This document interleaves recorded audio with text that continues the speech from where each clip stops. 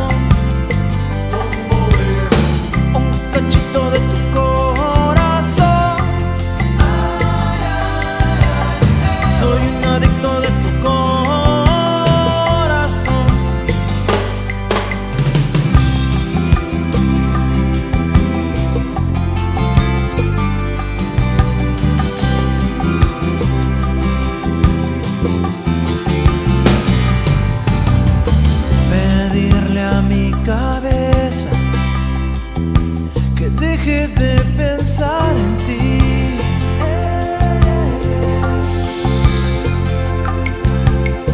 Es casi como pedirle a mi corazón que deje de latir.